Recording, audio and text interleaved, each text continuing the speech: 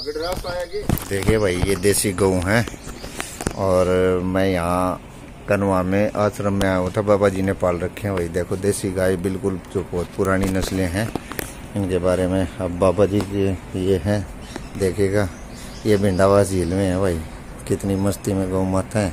कभी फिर इनकी वीडियो बना के दिखाऊँगा मैं आपको स्पेशल बाकी देखिए, पीछे नज़ारा, ये झील है इधर, और फिर दिखाऊँगा।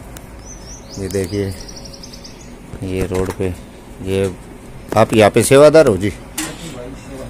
क्या नाम है बाबू जी आपका?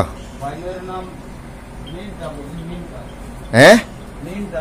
मीनटा कहाँ से हो भाई जी नवादा गाँव से। चलो भाई, बहुत बढ़िया लगा। आप सेवा करते हो एक देसी होंगी ना नस्लें गाय, बिल्कुल? अच्छा जी। देसी गाय जैसे मैं बता रहा था भिंडावास महाराज जी के पास। चलो भाई, ठीक है, फिर दिखाता हूँ मैं आपको कुछ। अच्छा भाई कभी देखना हो तो ये। कोई बात नहीं। बाबा जी आपका नंबर होगा?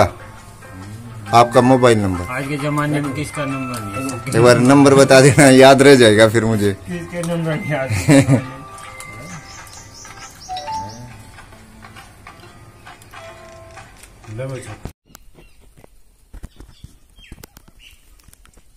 याद तो कौन है